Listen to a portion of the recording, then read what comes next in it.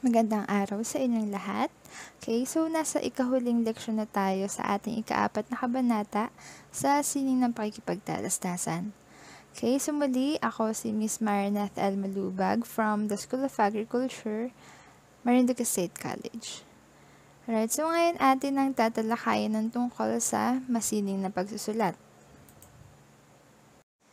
And specifically, narito ang mga paksang ating tatalakayin. Ayan. Una, uh, ang tungkol sa mahusay na tula at ang kasunod ay ang tungkol sa maikling kwento.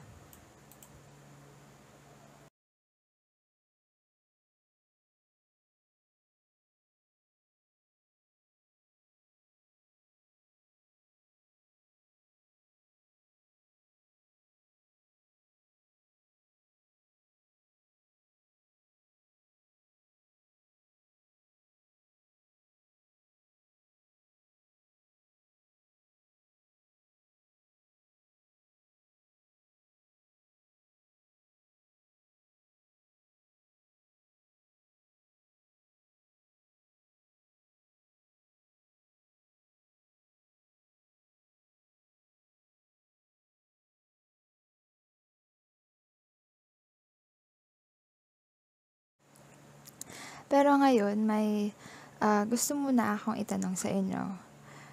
At gusto kong malaman ng mga sagot ninyo hindi sa pamamagitan ng uh, pasilita, hindi rin sa pamamagitan ng pasulat. Okay? Gusto kong uh, sagutin ninyo ako sa pamamagitan ng isang graphic interchange format or yung uh, mas kilala natin sa tawag na GIF. Okay? So, pipili kayo ng isang GIF na magre-represent sa uh, inyong mood o sa nararamdaman nyo at the moment. Then, uh, isasend nyo ito sa ating group chat. Okay, halimbawa ay ganito. Okay, so kung ako yung sasagot, uh, ito yung aking GIF na pinipili uh, that best represents my mood habang ginagawa ko tong uh, PPT slides na nakikita ninyo sa inyong screen. Okay? Kasi nasa isang room ako, malalim na ang gabi, tapos tulog na yung mga kasama ko sa bahay. Kaya ito yung um, pinipili ko. So, kayo naman, hihintayin ko yung mga sagot ninyo pagkatapos ninyong marinig ang hudyat na ito. Okay? So, balik kayo dito pagkatapos ninyong i-send yung inyong napiling GIF. Okay, so ngayon naman, atin munang basahin itong uh, sumusunod na sulatin. Okay. Aaminin kong muli, nung una kang makita, sa mata mo'y nabighani. Sabi ko, sana kaklase kita. Hindi ko alam na matutupad pala. Nakakatawa, para kasing tadhana, mapaglarong tadhana. O, diba? Very high school-like feels yung parang mapapangiti ka after mong basahin tong uh, last line na mapaglarong tadhana. Arte. So, anyway, ang, uh, ang aking tanong ay, uh, masasabi ba ninyo na uh, itong sulating aking binasa ay isang tula? And how about this? Okay, so uh, please allow me to read it. Pinatianod natin ang ating mga tinuping papel. Inilulan sa umaandar na tubig. Nagmistulang karagatan ang sapa sa maliliit at marurupok nating bangka. Pinagmasdan natin ang mga nag-uunahang hinugisang kartulina na sinuong pati ang daluyong. Ngunit alalahanin mo, ang bangka nati di yari sa bakal. Iyong hilinging, wag sanang dumating ang hanging mapanlupig upang usigin ang ating mga bangka Huwag ding mangyari nawa na harangin ng mga malakawal na bato. Tandaan mo, ang mga bangkaman nating marupok ating isunugod sa mapanghamong sapa sapagkat batid nating lamunin man ang mga ito ng tubig ay makabubuo pa rin tayo ng bago. Muling paaanurin hanggang di na maaapuhap ng ating paningin. Oh, oh, What can you uh, say about this writing? Masasabi nyo ba na uh, isa siyang tula or um, what kind of writing, considering its structure, its uh, diction, and even yung paksa. Ha? Okay, so hihintayin ko yung mga sagot ninyo sa ating group chat. Okay? Alright. So, mula sa aking nabanggit ng uh, simulan natin yung ating ikaapat na kabanata, di ba nabanggit ko na ang uh, masining na pagsusulat ay hindi lamang basta-basta. Di ba? Dahil sa ang uh, masining na pagsusulat ay hindi sapat na basta maintindihan lamang, hindi sapat yung uh, maunawaan lamang ng, ng mambabasa ang ating isunulat. Kahit pa sabihin natin na uh, ang maunawaan ang pangunahing layunin ng uh, na so again, kahit pa sabihin natin na ang maunawaan ang pinakang layunin pagdating sa komunikasyon. Oo nga, maintindihan. Yun talaga yung uh, pinakang main goal kapag uh, tayo ay nakikipag-communicate. Ngunit sa masining na pagsusulat, which is uh, kind din siya ng communication, uh, may kahingian o requirement na higit sa basta maunawaan lamang. Okay? Dalawang bagay ang uh, pinakapayak na requirement ng pagsusulat upang maituring na uh, masining. Okay? So here, kailangan itong maging uh, mapagparanas at makintal. Okay? So sa English ay ibig sabihin ng, ng mapagparanas ay evocative at ang makintal naman ay impressive. At kapag sinabi natin uh, evocative, nagbibigay dapat ito ng strong impact kapag uh, na-perceive ng reader yung binabasa niya. Samantalang kapag uh, sinabi naman natin impressive ay dapat admirable yung sulatin. Yung bang uh, maa-amaze ka doon sa quality ng isang sulatin at doon sa skills o ability ng manunulat. Okay? Okay, so now, ano nga ba ang tula? Okay, ang tula ay isang uri ng sining at panitika na nagpapahayag ng damdamin ng isang tao. At kilala rin ito sa malayang paggamit ng wika sa iba't ibang estilo na nagbibigay diin sa ritmo, uh, mga tunog, sa paglalarawan, at uh, mga paraan ng pagbibigay kahulugan ng mga salita. Okay, ang sinasabing malayang wika rito ay katulad na lamang ng paggamit ng uh, matatalinhagang mga salita, gayon din yung mga tayutay na tinalakay ninyo nung nakaraang araw. Okay? So, binubuo rin ito ng saknong at taludtod. So, karaniwan itong uh, wawaluhin, lalabindalawahin, at lalabing anim, lalabing animin, at lalabing waluhin.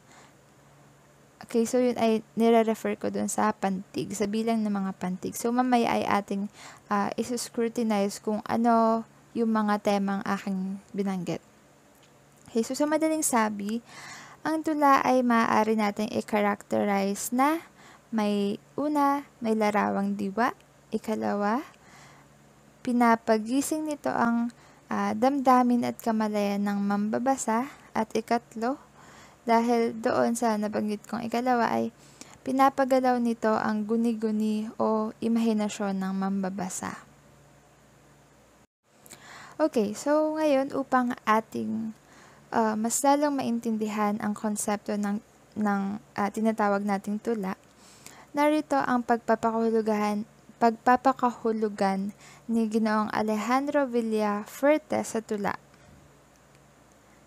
Ang tula raw ay isang uh, pagbabagong hugis sa buhay na ipinararating sa ating damdamin at ipinapahayag sa pananatiling nagaangkin ng tumpak na aliw-iw at lalong mainam sa mga may sukat na taludtod. Ang kahulugan ng tula ay likha at ang makat ay isang manlilikha. Para naman kay uh, Balmaceda, ang tula ay isang kaisipang naglara, naglalarawan ng kagandahan, ng kariktan at ng kadakilaan. Okay, so ito raw ang tatlong bagay na kailangang magkatipon-tipon sa isang kaisipan upang mag-angkin ng karapatang matawag na tula.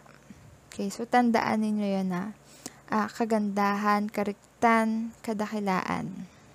Okay, moving on. Uh, atin muna namang talakay ng mga elemento o sangkap ng tula. Unahin muna natin ang saknong. Okay, so ang saknong ay uh, binubuo ng dalawang sangkap. Ang taludtod at ang sasura.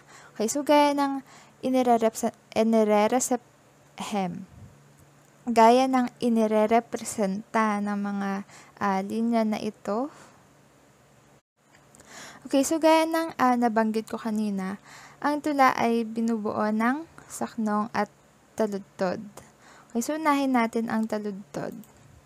Ito yung tawag sa uh, doon sa bawat linya ng mga salita na, na, na bumubuo sa isang tula. Katulad ng uh, mga halimbawang ito. So may apat na taludtod tayo nakikita. Isipin uh, nyo na lamang na imbis na linya yung itawag natin sa ganito, taludtod ang itawag natin. So ngayon, balik tayo sa saknong. Okay, so saknong naman yung tawag doon sa uh, grupo ng mga taludtod. Usually ay nakaset off ang isang saknong from the others by a blank line or uh, pwede ring indentation. So, kagaya ng isang saknong na ito, uh, binubuo siya ng apat na taludtod. Okay? So, sa kabilang banda naman, pansinin ninyo itong mga pulang slash na nasa gitna ng bawat taludtod. Ang tawag dyan ay sasura. Ito yung light pause light pause na ginagawa natin kapag nagbabasa o nagdidictate tayo ng isang tula. Okay? So, maliwanag ba yon? Again, ang saknong ay binubuo ng mga taludtod at ang taludtod ay ang bawat linya ng mga salita. So, at sa isang taludtod, kapag ito ay mahaba-haba, may light pause tayong ginagawa at ang tawag natin doon ay susura. Okay, so mamaya lamang ay ating malalaman kung kailan ina-apply ang susura. Now, moving on sa mga uri ng saknong naman tayo. Okay, so una, may tinatawag tayong kopla o couplet sa English. Ito yung uh, saknong na binubuo lamang ng dalawang linya. So, narito ang halimbawa. Bakit ako'y iyong Okay, so again, bakit ako'y iyong binuhay pang muli? Kung sa iyong palad ay kikitiling tagli. Okay, so dalawa lang ang kanyang taludtod. Ikalawa, terseto. Okay, so terset naman ang tawag dito sa English. Okay, so now from the word itself, tatlong taludtod naman ang uh, bumubuo dito katulad ng sumusunod na halimbawa. Animong maitim sa mukha ng araw, tabing na panangga sa ngiti ng buhay, palagay ko'y ganyan pag may kakulangan. Okay, so tatlo ang taludtod. Susunod ay ang kwartero. At quatrain, quatrain naman sa English. Okay, so binubuo naman ito ng apat na taludtod. Narito ang halimbawa. Sa yungib na yaoy, ibig kong ibalik, ang hubad na, bak- na bakas nang ako'y umalis. Sa yungib ng yaoy, ibig kong isilid, ang sugat-sugat na yabag ng daigdig. So, apat na taludtod. So, ito, itong uh, quatrain ang malimit na gamitin ng uh, maraming mga manunulat at even yung mga um, novice writers. Kaya ang marami ay uh, mas familiar na ang isang stanza or saknong ay binubuo lamang ng apat na linya. Katulad na lamang ng uh, sa Florante at Laura na nahahati sa mga kwarterong uri ng saknong na may 12 syllables naman bawat taludtod, kagaya rin ng uh, halimbawang ito na aking nabanggit. Okay? So, ikaapat, ikaapat na uri ng saknong Okay, so quinteto o quintet sa salitang English. So binubuo ito ng limang taludtod at narito ang halimbawa. Okay? Ikaw ba ay ano? Ikaw ba'y pag-ibig? Halamang ligaya ng tigang na, di- na dibdib? Bakit nang nupling ka sa puso ko'y sabik? Ang mga ugat mo'y may pighating hatid. So, five 5 na tuludtod. Okay, susunod ay ang senteto o sestet sa English. Ito naman ay binubuo ng anim na taludtod. Okay, so narito ang halimbawa. Hindi na mabilang sa buhok ng uban. Sa pisngit sa noo ay nakabalatay. Ang guhit na tanda ng pinagdanasan. Limamput tatlo na ang kapanahunang lumipas sa kanya sa pool ng isilang. Okay, so, ani, okay, so anim na taludtod uh, ang bumubuo sa sasaknong na senteto. Isunod naman ay ang septet na may pitong taludtod at ang octave na may walong taludtod. So ulit, ang iba't ibang uri ng saknong ay ang kopla, terseto, kwartero, quinteto, uh, senteto, septet, at octave. So, um, mula sa dalawang taludtod hanggang sa walong taludtod. So, yung characteristics naman ng bawat uri ng saknong ay uh, makukuha ninyo agad doon pa lamang sa terminolohiya na uh, ng bawat uri. So, katulad ng kopla o koplet, from the word couple, ibig sabihin ay dalawa. Sa tawag na kwartero, quatrain, uh, edi makuha nyo agad na quattro, ba? So, apat na talugtod, yung ganon. Okay? Okay, so dito naman tayo sa ikalawang elemento o sangkap ng uh, isang tula. So, which is ang tugma. Okay, isa itong katangian ng tula na hindi angkin ng mga akda sa tuluyan.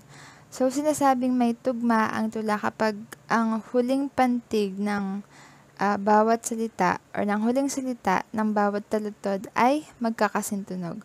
So, marami kasi naka, nakagaganda sa kapag binibigkas ang isang tula kapag may angkin itong uh, indayog or himig.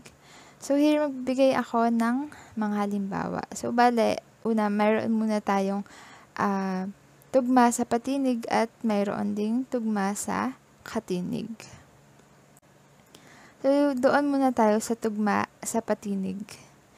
Okay, ito yung pagtutugma ng tunog na, nag, na nagtatapos sa patinig. Okay, so halimbawa, kapag ka ang tao sa sayay nagawi, minsay nalilimot ang wastong ugali. Okay, so ayan sa halimbawang ito, uh, may tugma kang may hinahuna. Pareha silang nagtatapos sa i na tunog. Nagawi, ugali. Wi, li. Okay? So ngayon naman, uh, para masabing uh, may tugma sa isang saknong, dapat pare-pareho ang uh, wakas na tunog ng bawat taludtod. Halimbawa ay uh, ang mga ganitong pattern. Okay, so itong una, uh, sunod-sunod na taludtod ang magkakatugma. A, A, A, A. So itong sunod naman ay mayroong dalawang magkaibang uh, tunog at magkasunod yung magkakatugma a, a, i, i. Samantalang dito naman sa huli, ang magkatugma naman ay nakapwesto ng salitan. So, a, i, a, i. May a-apply rin natin yung ganitong pattern sa susunod na uri ng tugma. Okay? Ang tugma ng, ang tugma sa katinig. Okay, so obviously, dito sa tugma ng tugma sa katinig, ito yung uh, pagtutugma ng tunog na nagtatapos sa katinig. Okay, so narito yung halimbawa. At sa durangawan, ikaw ay nanungaw. At sumulyap-sulyap sa dakong karimlan. Nagmasid-masid pat sa kamo inusal. Sino kaya siya? Siya kaya ay nasaan? Okay, so dito, uh, siguro napansin ninyo na ang magkatugma lamang ay ang ikalawa at ang ikahuling taludtod, no? Tapos ang uh, nanungaw at inusal ay uh, walang kaparehang tunog. So, dito particularly sa tugma sa katinig, uh, mayroong nakaset na panuntunan tungkol sa mga katinig na nagtutugma sa isa't isa. Okay, so uh, narito sila. Una, ang mga tunog ng b, k, d, g, p, s, and. Okay? So, halimbawa ay ganito. Okay, din yung maigi. So, malungkot balikan ang taong lumipas. Nang siya sa sinta ay kinapos palad. Okay, so ang dalawang huling salita ay lumipas at palad. Okay, so sa tunog na mula doon sa lumipas at sa tunog na d mula doon sa palad. So, kahit hindi sila magkaparehas ng huling uh, tunog, may considerang nagtutugma itong mga tunog na ito mula doon sa panuntunan na ito. Okay, so maliwanag ba? Okay, kalawang set naman tayo. So, ito ay uh, consist of the sounds of L, M, N, Ng, Her, Wah, and Ya. Okay, so halimbawa, sa pupo ang noo ng kaliwang kamay na hindi matingnan ang sikat ng araw. Okay, so ang dalawang salita sa mga taludtod ay kamay at araw. So, I and aw. So, maliwanag ba ang tungkol sa tugma? Okay, sa tugma, sa katinig, particularly. So, I hope it is. Okay, so moving on. Okay, so dito naman tayo sa ikatlong elemento o sangkap sa tula, which is ang sukat.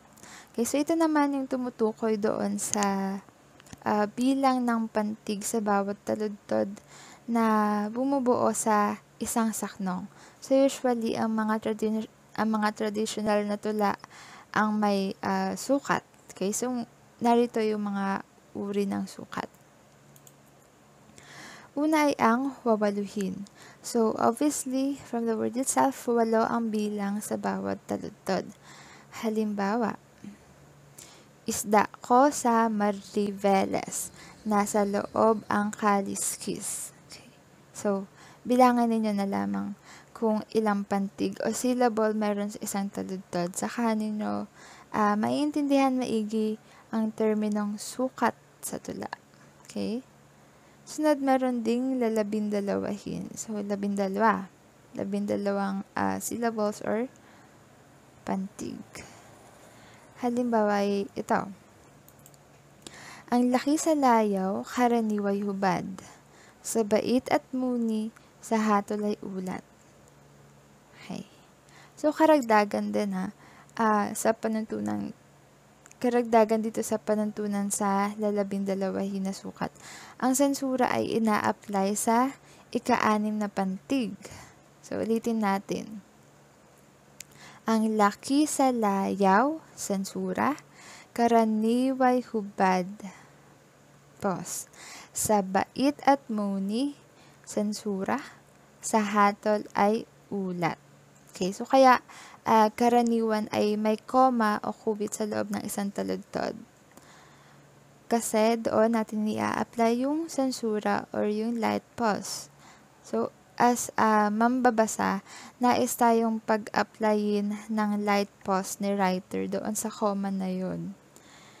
Ngunit kung wala namang uh, comma, bilangin na lamang uh, natin yung uh, doon sa ika-anim na pantig at doon tayo mag uh, a-apply ng sensura.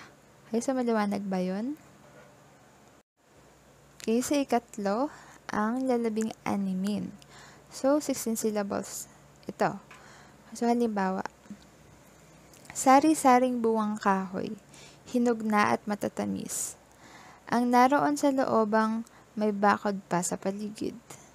Okay, so dito naman, ang sensura ay nasa ikawalong pantig. Okay? Sari-saring bungang kahoy, hinog na at matatamis. Second talutod, ang naroon sa loobang may bakod pa sa paligid. Okay, so tandaan kapag 12 uh, kapag nasa lalabindalawahing sukat tayo, sa ika-anim na pantig tayo mag apply ng sensura, habang sa um, dito naman sa lalabing animin ay sa ika walong pantig tayo mag apply ng sensura. Okay, so panghuling sukat ay ang lalabing waluhin. Okay, so 18 syllables.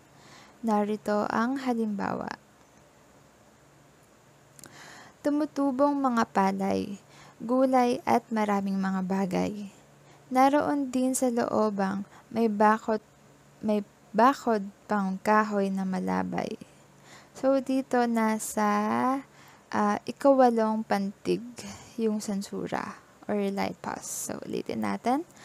Tumutubong mga palay, gulay at maraming mga bagay. Sa second taludtod, naroon din sa loobang may bakod pang kahoy na malabay. Okay, so katulad din ng uh, lalabindalawahin, doon tayo, ay, ng 16 syllables or ng lalabing animin, doon tayo sa ikawalang pantig. mag apply ng sansura. Okay, so ang mga nabanggit kanina yung uh, sukat at ang tugma ay uh, mga pisikal o panlabas na elemento o sangkap ng isang tula. Samantalang itong uh, susunod, itong dalawang huling uh, ating tatalakayin ay uh, siya maikokonsidera natin as yung pinakang kaluluwa ng tula. Just yung kariktan at talinhaga. Okay, so dito muna tayo sa kariktan o ang pagiging marikit. Kung uh, bababawan natin yung kahulugan ng ganitong termino- terminolohiya ay uh, masasabi natin na ito yung pagiging maganda ng isang tula. So, paano ba natin, uh, paano ba uh, maging maganda ang isang tula? So, syempre, kailangang uh, magtaglay ang tula ng maririkit and magagandang mga salita. So, dahil dito ay uh, maaaring masiyahan yung mga uh, yung ating mga mambabasa, gayon din ay mapupukaw yung kanilang uh, damdamin at kawilihan. Okay, so ano ba ang mga halimbawa ng maririkit na salita? Mm. Kuha tayo sa mga kanta. No? So, gunita, silakbo, what else? Hiwaga, benanben, hiwaga, humaling, pagsamo, likha, what else? At napakarami pang iba. Uh, napakaraming salitang Filipino ang hindi na uh, malimit na gamitin sa panahon natin ngayon. Ngunit sila uh, madalas yung makukonsidera natin na maririkit. Agree ba kayo doon? Kasi ako, oo. Okay. okay, so dito na tayo sa huli. Yung talinhaga. Okay, so maraming uh, kind of readers na nagagandahan sa isang tulang di tiyakang tumutukoy sa bagay na binabanggit. Ito yung uh, isang sangkap na tula na may kinalaman sa na sa natatagong kahulugan ng tula. Okay, so dito hindi lang basta-basta uh, single words yung sinasabing talinhaga eh. Kasi maaaring ang isang buong uh, komposisyon, komposisyon ng tula, uh, maaari siyang maitago sa isang talinhaga. For example, um, may ginawa kasi akong tula, di ba, nabanggit ko sa inyo, may ginawa akong tula noon at uh, ang title niya ay In the Depth of You. So, may dalawang maaaring interpretation. Ito ay, ang isa ay um, takot ako sa lalim ng dagat na nasa kalagitnaan ako ng dagat, uh, natatakot akong makita o malaman kung ano yung mga nasa ilalim nun. So, literally, ang mga salitang ginagamit ko doon, ginamit ko doon ay tungkol sa dagat. At ang ginamit at ang kinakausap ko ay ang dagat. Okay? So, doon naman sa kung babasahin ng maigi at titingnan ang katalinhagaan na taglay noong nagawa kong tula, ang kahulugan talaga ng uh, tulang yan ay patungkol sa isang tao na takot ako bilang manunulat ha, na malaman kung ano ang totoo niyang ugali. Yung totoo ng uh, katangian, yung mga uh, totoong pagkatao niya ba? Ganon. So, natatakot akong malaman ang mga yon kapag nasa kalagitnaan na kami ng uh, yung getting to know or yung pagpapakilanlan sa isa't isa na stage. Okay, so, ayun, kung babasahin lang talaga ang tulang yun without um, any makukulit na imagination, na imahinasyon, uh, yung literal na meaning lamang yung makukuha at maaaring hindi maintindihan yung malalim na pagpapakahulugan ko dito. So, yun yung tinatawag nating talinhaga.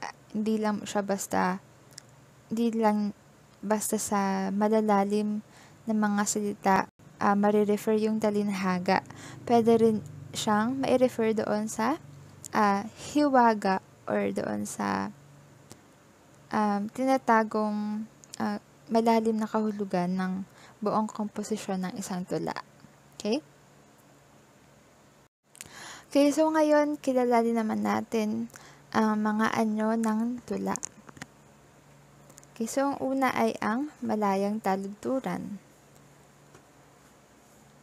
Okay, so ito ay ipinakilala ni uh, Alejandro G. Abadilla. Okay, ito yung uh, anyo ng uh, tula na isunulat ng walang sinusunod na patakaran kung hindi ay kung hindi ang anumang naisin ng sumusulat. Okay. Okay, so ito ang halimbawa. Mula sa tula Nakapit Kamay ni Fernando Nocum. Sa bawat araw na nagdaraan, may mithiin tayong gagampanan. Marangal na hangarin, tao sa damdamin. Tumulong sa kapwa ating adhikain So kung inyong mapapansin, hindi pantay yung sukat ng bawat taludtod. Although may mga tugma naman tayo na-identify katulad nito, nagdaraan, gagampanan, hangarin, damdamin, adikain. So dito sa anyo ng tula na ito ay uh, malaya ang manunulat na sulatin ang nais niyang forma doon sa tula. Okay, so Gayun din, uh, may mga naka-underline na kind of tula sa ano na to. Una ay ang enjambment. Okay, so na-derive itong katawagan na to from the French word itself. So, ang ibig sabihin nito sa French ay to step over. And from that uh, meaning, sa larangan ng tula ay tumutukoy ito sa pagpapatuloy ng ideya mula sa isang taludtod tungo sa kasunod na taludtod. Kaya uh, masasabi talagang malaya ito, no? So, sa pagbabasa ng isang uh, enjambment, hindi dapat uh, titigil sa dulo ng taludtod, but instead, ipagpapatuloy lang ang pagbabasa doon sa susunod na taludtod. Okay, so titigil lamang tayo kapag may tuldok o kubit. Okay, so, narito ang halimbawa.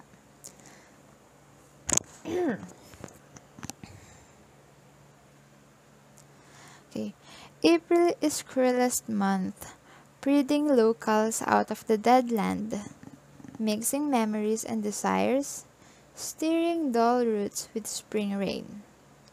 Winter kept us warm, covering earth in forgetful snow, filling a little life with dried tubers. So, so isa itong excerpt mula sa Tulang The Wasteland ni T.S. Eliot. Okay, so napakagandang tula nito. So, moving on, uh, naintindihan niyo ba yung enjambment? Okay, so, again, ito ay um, pagpapatuloy ng isang ideya mula sa isang taludtod patungo sa kasunod na taludtod. Okay? So, katulad nito, uh, yung April is cruelest month, isang idea na siya. Tapos, dinugsungan siya ng isang salita uh, na tungkol na sa isang idea.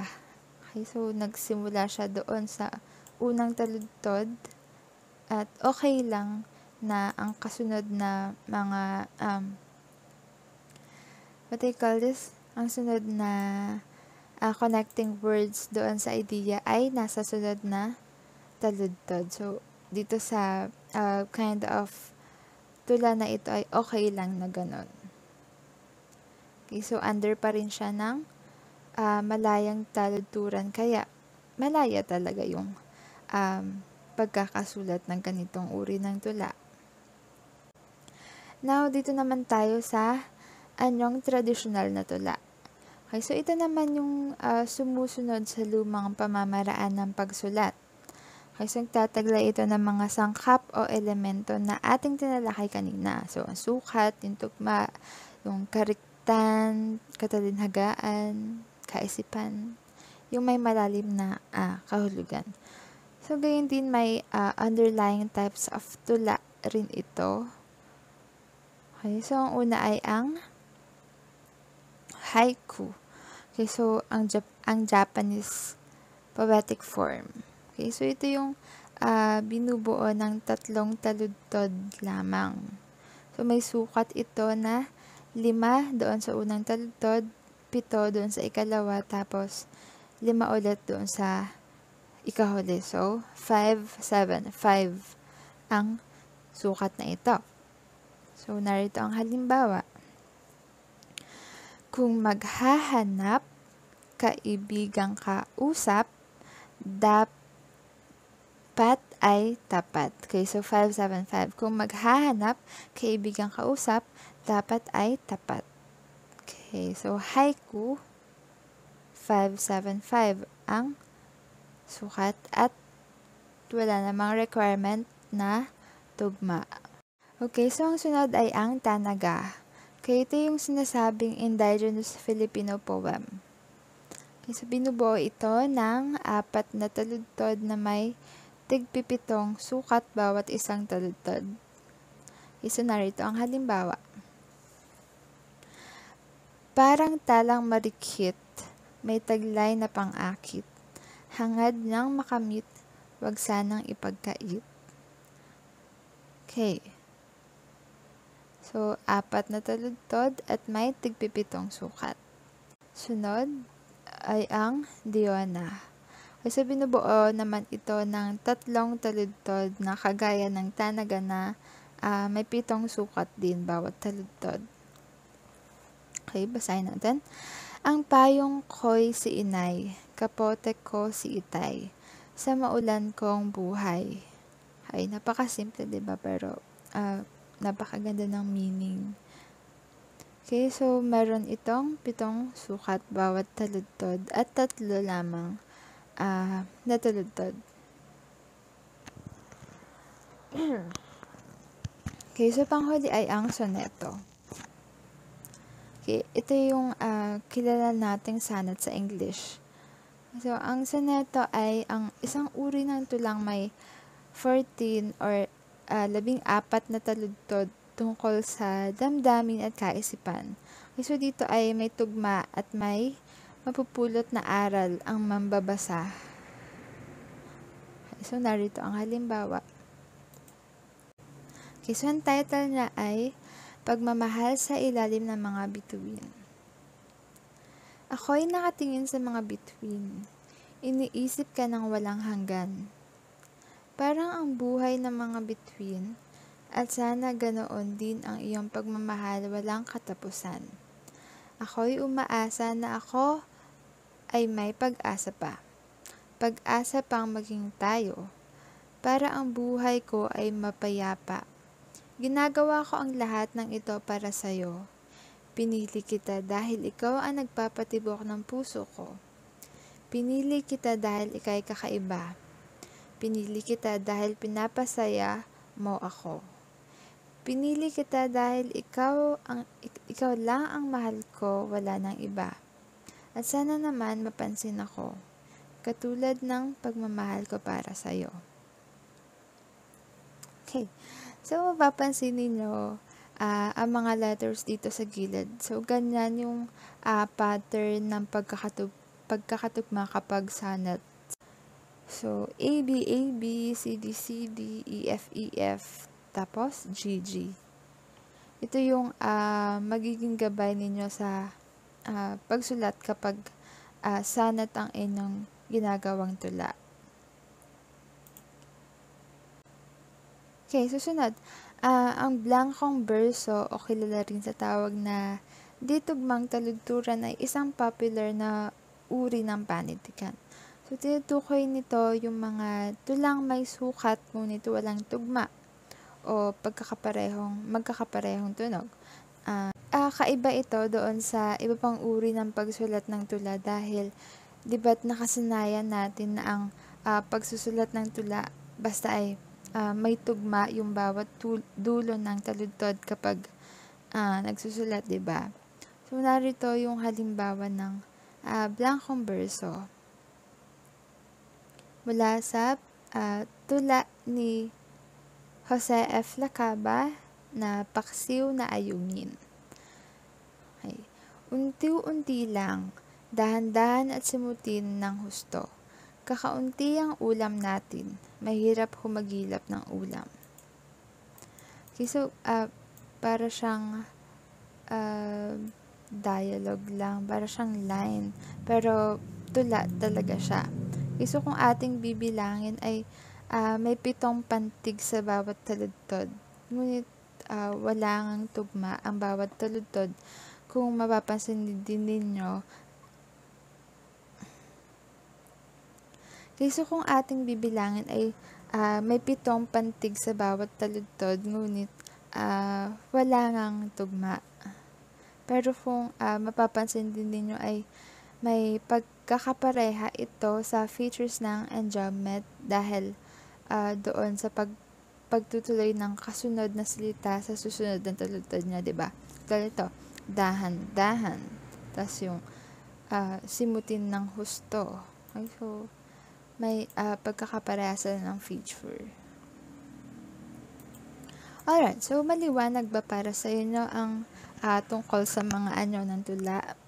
Okay, so mayroong malayang taludturan, tradisyonal na tula, at uh, blankong berso. So, sa malayong uh, taludturan, walang sinusunod na panuntunan. Ibig sabihin ay malaya ka sa paggawa ng tula. Samantalang sa uh, traditional na tula naman ay may sinusunod kang uh, pamamaraan. May requirements na uh, sukat, tugma, talinhaga at kaisipan. Okay? So, panghuli ay, ang blankong verso naman, uh, may sukat na dapat kang imit, ngunit hindi uh, required na tugma yung gawin mong tala. Okay? So, ngayon punta naman tayo doon sa mga uri ng tula. Okay, so una, meron tayong tulang liriko, o tulang damdamin. Kung tatawagin natin sa English ay ito yung lyric poetry.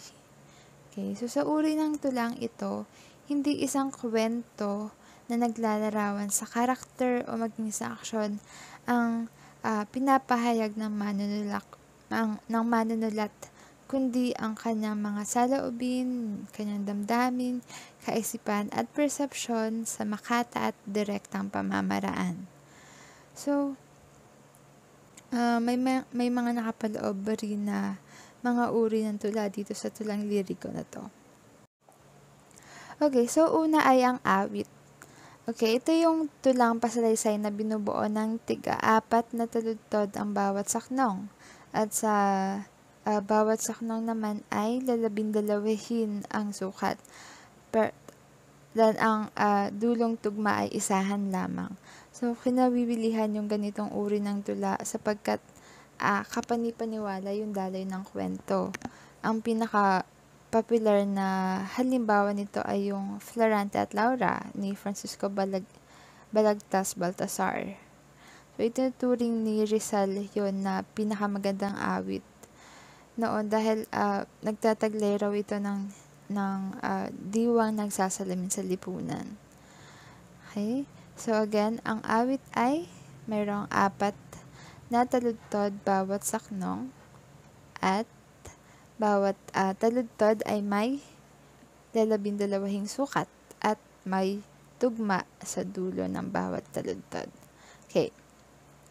Susunod, ang ikalawa ay yung soneto na ating tinalakay kanina. So again, uh, nagko-consist siya ng 14 na uh, taludtod. At ang kinokontent naman dito ay hinggil sa damdamin at kaisipan ng manunulat. Okay?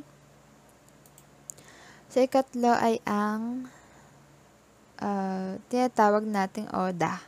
Ito naman yung tulang liriko na nag uh, serve bilang papuri. Kaya naman pwedeng uh, pwede rin natin siya i-consider na uh, dedicated or dedikado sa isang tao o bagay na uh, kinukuha ang interes ng manunulat o kaya ay uh, nagsisilbing inspirasyon para sa manunulat. Okay? Halimbawa dito ay yung uh, tulan na isunulat ni Rio Alma para sa mga janitor, sa mga basurero at sa uh, iba pang uh, kabisig na ganitong trabaho. So, ang pamagat, ang pamagat nun ay Oda sa Kalikasan. Okay, so mayroon ding uh, isunulat si Jose Corazon de Jesus para sa mga manggagawa naman at ang pamagat nun ay Oda at mga manggagawa. Okay, so ikaapat ay ang elehiya o elegy sa English. So ito naman yung tula para sa uh, yumaong kakilala, kamag-anak o mahal sa buhay. So maaari ring uh, ikonsidera na elegy yung tula na galing sa imahinasyon na tungkol sa kamatayan. Okay? So panghuli naman ay ang dalit. Okay, so nagko-consist naman ito ng kwartera na saknong. Ibig sabihin ay uh, apat na taludtod bawat saknong. Also, uh, ang bawat taludtod naman nito ay uh, binubuo ng wawaluhing sukat. So, ang content naman ay karaniwang panrelihiyon. So, particular na ang uh, particular na nakasulat para sa layuning uh, makapagpuri, makasamba, and panalangin. Okay? So, sunod na uri ng tula. Uh, ikalawa ay ang pagpasalaysay o narrative poetry. Okay, so from the terminology itself, ito yung tula na may uh, balangkas upang makapagpahayag ng isang kwento na may kaugnayan sa maaari maging simple o komplikadong uh, pangyayaring kan- karaniwan naman ay hindi emosyonal. So, ang kabuuan nito ay maaaring maikli o mahaba. At ang mga paksa naman nito ay uh, madalas na tungkol sa mga pangyayari sa pang-araw-araw nating pamumuhay. So, ngayon, uh, mayroon ding nakapaloob na uri ng tula dito. So, una ay ang epiko. Okay, so ang epiko ay isang uh, tulang pasalaysay na nagsasaad ng uh, kabayanihan ng pangunahing tauhan na nagtataglay ng uh, katangiang nakahihigit sa karaniwang tao na kadalasan ay buhat sa um, ancestors ng mga gods and goddesses, mga ganun. Okay, so, ano ba yung, okay, so yung pinakasikat na halimbawa ng epikong tula na sa Pilipinas ay yung um, yung bi- biyag ni Lamang. Okay? So, yun yung uh, first notable epic poem na uh, na-record in written form dito sa Pilipinas. Ang biyag ni Lamang. Okay? Susunod ay ang korido. So, dito naman may walong pantig sa bawat taludtod. Ito yung uh, tulang pasalaysay na may kasamang kababalaghan o fantasies sa content sa mga tauhan ay uh, nagsasagawa ng mga bagay na hindi maaaring magawa sa tunay na buhay. Kaya siya tinawag na uh, fantasy. Isang pinakasikat na halimbawa nito ay yung Ibong Adarna. Okay? So, corrido. Okay, so ang ikatlong uri naman ay ang tulang patnigan. Okay, so sa ganitong uri ng tula ay uh, naglalayon itong mga twiran, mga hikayat, uh, mag, magbigay linaw sa isang paksa. Okay? So, ang mga underlying uri ng tula dito ay uh, una ay ang balagtasan. Okay? So, ito yung uh, pagtatagisa ng talino sa pagtula ng dalawang magkaibang panig. So, bilang uh, pangatwiran sa isang paksang pinagtatalunan. So, hinango ito mula sa pangalan ni Francisco Balagtas. So, meaning, isang uri ito ng panitikan na kung saan ay ipinapahayag ang saloobin o pangatwiran sa pamamagitan ng pananalitang may uh, mga tugma sa huli. So, uh, example yan ay yung uh, ngayong modern tula ay yung flip-top, flip-top bottle. Although, may mga uh, issues na hindi daw siya consider na tula, pero may tugma naman. Uh, tayo ma-identify doon sa mga uh, sa mga binabanggit doon sa flip-top bottles, di ba? Okay. Okay, sunod ay ang karagatan. Okay, so ang, ang pagsasagawa ng tulang ito ay uh, sa pamamagitan ng isang laro. Okay, so laro siya. Mayroong tabong uh, papaikutin, tabo, deeper mayroong tabo na papaikutin at kung saan uh, matatapat yung hawakan ng tabo ay siyang sasagot uh, doon sa tanong ng isang dalaga na may uh, matalinhagang bugtong at matalinhagang sasagot ang at uh, tama matalinhagang sasagot ang binata. So sa Katagalugan dito sa um, Southern Tagalog ay ito yung uh, nagmula sa isang alamat ng isang prinsesa na nahulugan ng singsing habang siya naglalakbay sa karagatan at kung sino daw yung uh, unang makakita doon sa singsing ay siyang uh, papakasalan ng prinsesa. Okay, so doon siya nagsimula. At ang panghuli naman ay ang duplo. Ang duplo naman ay isang laro din na nagaganap kadalasan kapag may lamay. Okay? So, paligsahan, paligsahan ito ng uh, husay sa pagbigkas at pangangatwiran. So, may uh, matandang tutula tungkol sa isang paksa ng laro. Okay, so, kumbaga ay ito yung uh, pang-aliw sa mga naulila ng isang yumao. At ang panghuling uri naman ay ang uh, tulang pantanghalan. Kasi tinawag, tinatawag din ito bilang tulang dula o Dulang Pantanghalan. Sa English ay verse drama. So, ito yung uh, drama na sinulat bilang isang berso para uh, pikain at isagawa sa isang tanghalan. So, karaniwan ay sa teatro. Okay, so tapos na tayo sa tula at atin namang tatalakayin ang tungkol sa maikling kwento.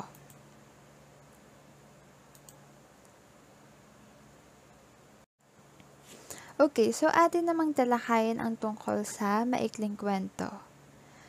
Okay, so hindi ba't uh, pagdating sa mga maliliit na bata, isa sa mga paraan ng mabisang pagtuturo ng uh, mabuting aral ay sa pamamagitan ng maikling kwento, 'di ba? Tapos mula doon sa kwentong 'yon, may uh, makukuhang idea yung mga bata tungkol sa tamang pag-uugali. Yun yung um, kinalakihan natin ba? So, ano nga ba ang maikling kwento? Okay, ayon kay Edgar Allan Poe, na isang magiting na American writer, at tinagurian din siyang ama ng maikling kwento. So, sabi niya, ang maikling kwento ay isang pampanitikang likha ng imahinasyon o guni-guni na hango sa isang tunay na pangyayari sa buhay. Okay. Sa kabila ng uh, pagiging maiksi nito, tinataglay pa rin nito yung uh, lahat ng elemento ng kwento. So, kadalasan pa nga ay uh, ito ay kinapu- kinapupulutan ng magagandang aral at nagiiwan ng uh, panibagong karunungan sa isip ng mga mambabasa. So, upang ating uh, malaman ng mas maayos ang konsepto ng maikling kwento, alamin natin kung ano-ano yung mga uh, ugat ng sulating uh, ganitong sulatin. Okay? Okay, so maaaring may nabuong maikling kwento dahil sa mitolohiya, sa alamat, sa pabula, sa parabola, sa kwentong bayan o anekdota. So, scrutinize natin. So, ang mitolohiya ay uh, yun uh, salaysay tungkol sa iba't ibang uh, Diyos na pinaniniwala ang mga sinaunang katutubo daw. So, maaaring tungkol din ito sa uh, kababalaghan at paniniwala sa mga anito, anita, Ganon. Okay? So, sunod ay ang alamat. So, ito naman yung tumutukoy sa pinagmula ng isang bagay, pook, pangyayari, etc. Okay, so, pina, uh, pinalulutang din dito yung mga mahalagang mensahe at mga aral sa buhay. Okay? Siyempre, di, man, di mawawala yung mga aral. Okay? Sunod ay ang pabula. So, ito yung uri ng kwentong gumagamit ng mga hayop bilang mga tauhan. So, bagamat uh, katang isip lamang ang ganitong uri ng kwento ay naghahatid pa rin ito ng mahalagang mensahe uh, at aral uh, ng buhay. Okay? Sunod ay ang parabola. Kasi ito naman yung hango sa Bible. Kaya ang paglalahad ay patalinhaga. Okay? Lumulutang din dito yung moral at uh, spiritual na pamumuhay ng mga tao. Yan, sunod ay ang kwentong bayan. Okay, ang isinasalaysay dito ay yung pag-uugali, yung uh, tradisyon, yung paniniwala, mga pamahiin, kultura, uh, and such ng uh, isang lipi. So, inilahad din dito yung mga suliraning hinaharap ng uh, isang lipunan na siyang uh, mag-iiwan ng aral at uh, tiyak na mensahe sa mga uh, mambabasa. Okay? So, tanghuli naman ay ang anekdota. So, ito yung uh, nagsasalaysay ng mga pangyayaring katawa-tawa at uh, mga pangyayari namang uh, yung mga pangyayaring yun ay kapupulutan rin ng mga aral sa buhay. Okay, so, uh, dito sa mga nabanggit kong uh, tawag dito sa mga nabanggit kong pinagmulan ng uh, maaaring pagmulan ng maikling kwento ay ang similarity lang nila ay mayroong makukuhang aral o mensahe. Okay, so basta ang pinakang uh, main feature ng maikling kwento ay may makukuha kang aral. Okay, moral lesson. Ayan. Okay, so dito naman tayo sa uh, mga uri ng maikling kwento.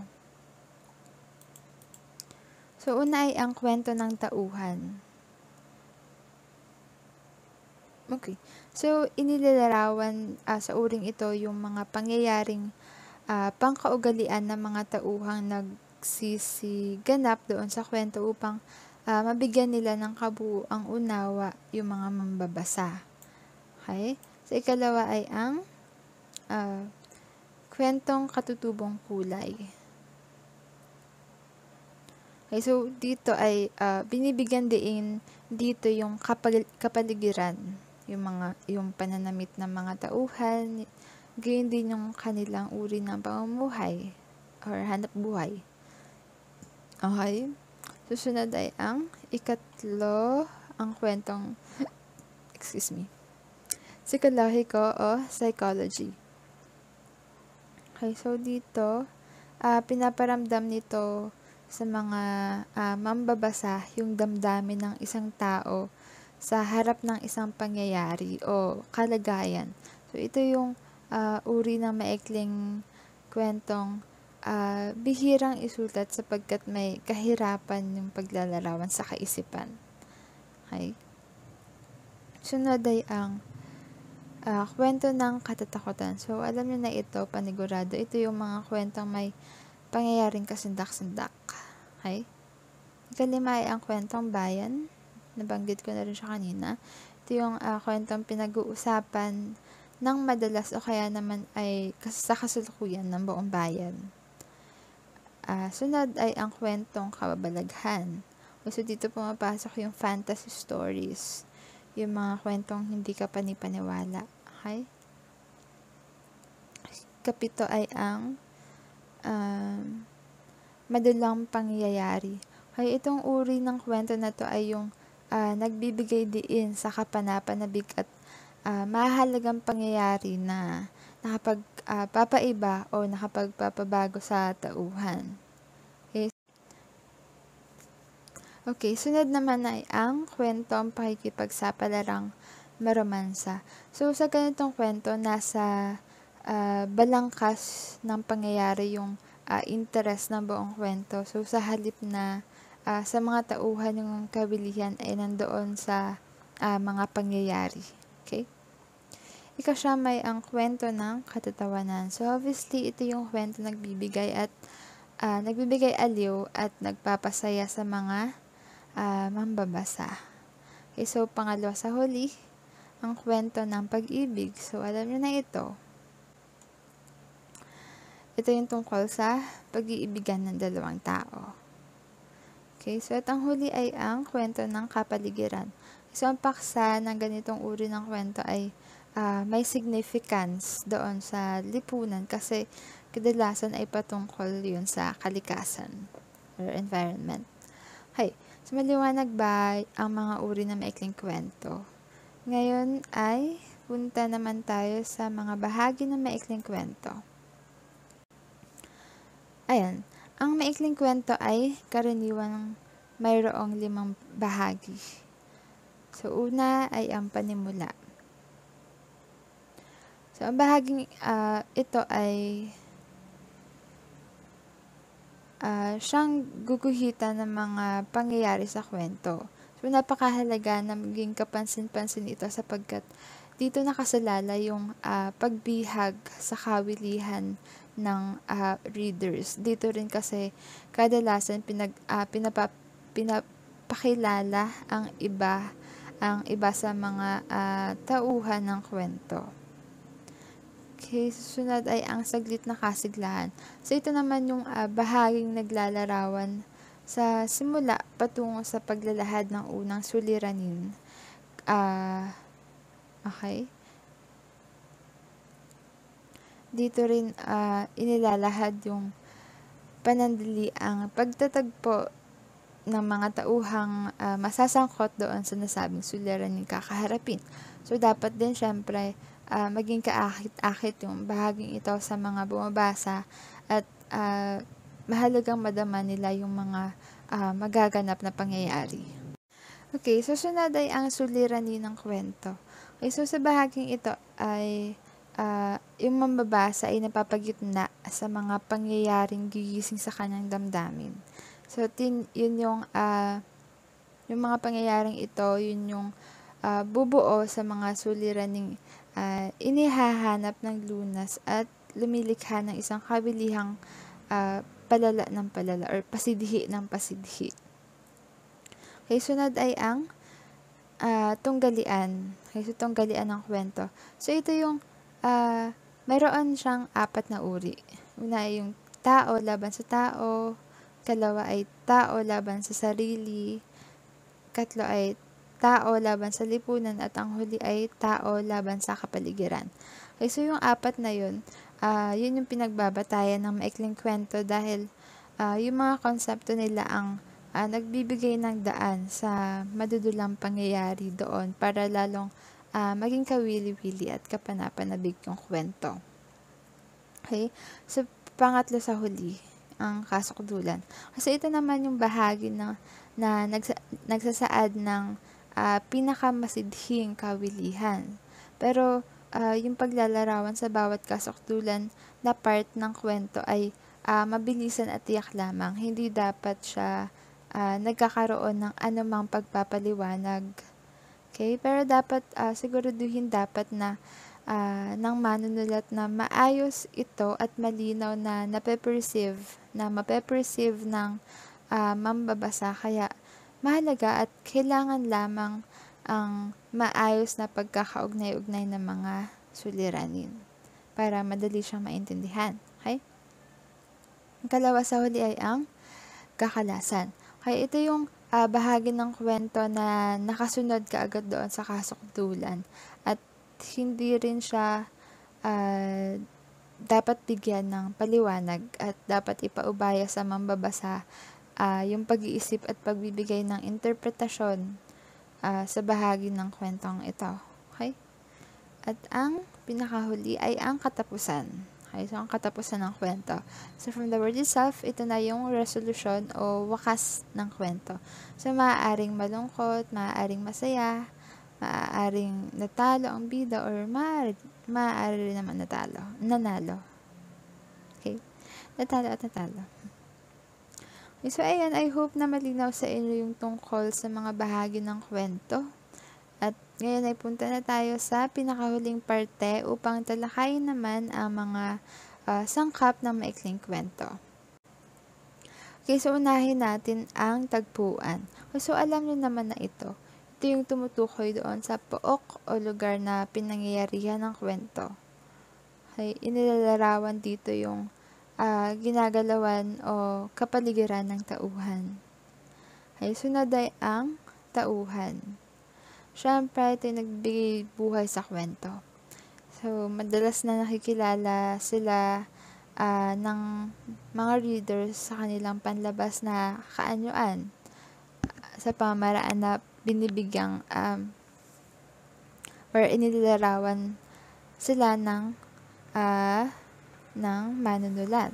So, sa physical na pananamit, sa kilos na, na nagpapahiwatig ng kanilang ugali at dialogo, yung. Okay? So, ikatlo ay ang banghay. So, ito yung uh, tinatawag nating plot sa English. Plot of the story. So, ito yung pagkakasunod-sunod ng mga pangyayari sa kwento. At yung mga pagkakasunod-sunod na yun ay yung ating tinalakay kanina ng mga bahagi ng kwento. Okay? Sunod ay ang tugma o paksa. Okay. Uh, ito yung pinakamahalagang sangkap ng isang sulatin na ating na na uh, paulit-ulit na tinalakay noong una pa lamang. So, uh, ito rin yung uh, maituturing na diwa o kaluluwa ng isang sulatin.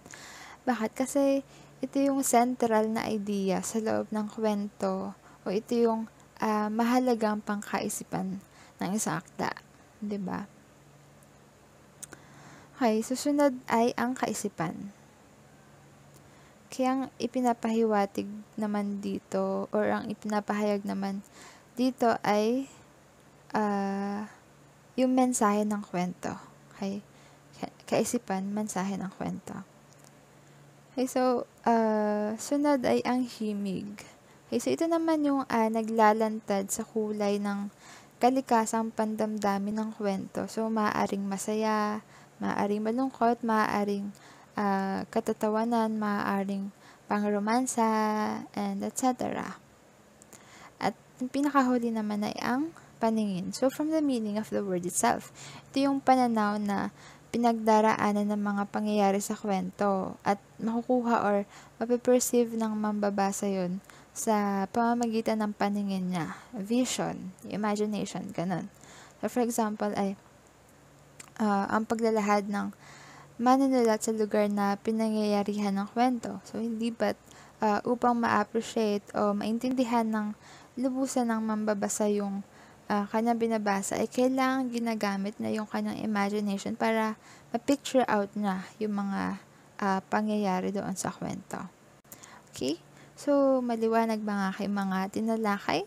Kung mayroon kayong katanungan at gustong linawin ay uh, erase ninyo na lamang ito sa ating group chat para ating uh, madiscuss. Okay? So, ayan. Muli maraming salamat sa inyong pakikinig at uh, always keep safe.